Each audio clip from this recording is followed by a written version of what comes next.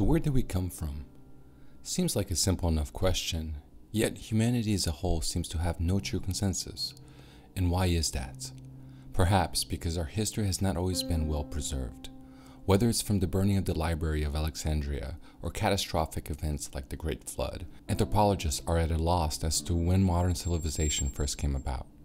In Turkey, a relatively recent site by the name of Göbekli Tepe was uncovered in 1996.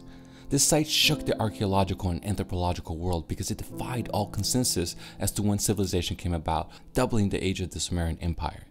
Recently, archaeologists from the University of Edinburgh have published a paper on the Journal of Mediterranean Archaeology and Archaeometry that details their interpretation that the Vulture Stone from Göbekli Tepe unveils an earth-shattering event with comets that struck down around 12,800 years ago. I found this so interesting because for the few who saw my previous episode, I mentioned something very close to that. Hopi Indians have this belief, uh, in the Dogon tribe also talk about this, that there were many worlds there are many uh, versions of humanity that have come, come about. And the Hopi Indians said that the first version was burned by fire. But before humanity was taken down by fire, apparently the Hopi Indians were led to an underground cavern that was essentially uh, built by what they called ant people. Ant people. I mean, ant people. Doesn't wouldn't that just be exactly like the alien that we just saw?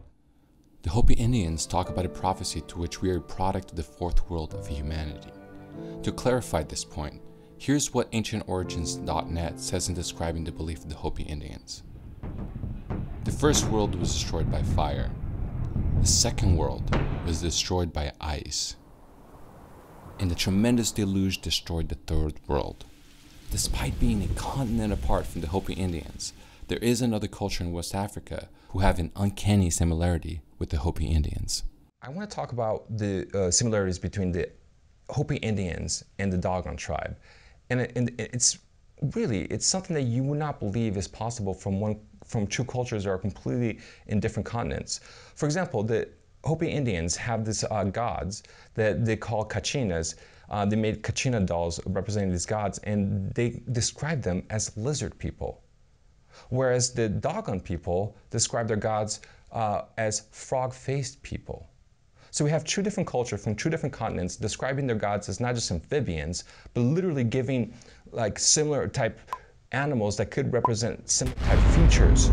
Another thing, both uh, cultures required ropes to be able to get to their dwellings. The, the way they constructed the housings, um, the planning of it is very, very similar. And both cultures, of course, have gods who came from the sky. Here's another similarity we can add to the list. Both native cultures, the Dogon tribe and the Hopi Indians, had their mythologies validated by scientific studies. They also had a term for uh, a third star step system, which they called Emaya, which was supposed to mean bigger and less dense. And that's where they said their ancestors, that's the, the home star of the ancestor. It, it's not the white dwarf, it's not Sirius B, but it's the third star system. Now, here's what I found absolutely amazing. I mean, just shocking. This third star system supposedly does not exist, meaning we have not photographed this third star. However, in 1994, there was a, a paper that was written, an academic paper that was written, that specifically posited the possibility of a third star. Though this academic paper uh, um, though they said we could not physically see the star itself, they did, uh, through mathematical analysis, uh, come to the conclusion that a third star had to exist in a star system. And this happened in 1994. You know, this published uh, paper in, in the Astronomy Journal. So, how is it that a Dogon tribe, 5,000 years old, is talking about something that could have only been discovered in 1994? I think that's pretty, pretty amazing. Some might see this as speculation. However, consider that the Hopi Indians also said that the Second Age was destroyed by ice, whereas the Vulture Stone in Turkey discusses the comet striking around 10,950 BC, around 12,907 years ago. The Younger Dryas, the mini ice age, was said to have started 12,900 years ago, which is almost an exact match in age. So, could this be what the Hopi Indians were referencing when they talked about the second world being destroyed by ice after the first was wiped out by fires? And to add to that, they believe in the notion that the third world was killed by water. Anthropologically speaking, the Great Flood is probably the most prevalent catastrophic event discussed in all of human history. There is a consensus that writing in many cultures, Sumerian and Egyptian, arose around 3500 BC, which would have placed the estimated date of the flood just previous to that if you adhere to the notion that the great civilizations suddenly arose after the Great Flood. So, even if all this can be verified, Homo sapiens, according to the scientific consensus, is at least 250,000 years old. So, what happened to humanity between the comet strikes almost 13,000 years ago and the oldest Homo sapien fossils discovered 250,000 years ago? Think of that time gap.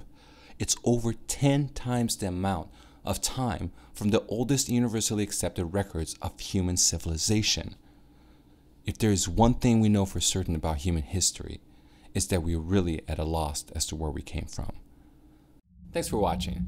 Please leave your thoughts and questions in the comment section below. Are there any other civilizations that may have been present prior to Göbekli Tepe? I will take the time to read all your comments. If you like this episode and you want to subscribe, click the link to the left. Make sure you turn on the notifications to be warned about future episodes. Thanks for joining me. This is Felipe Osorio, signing out.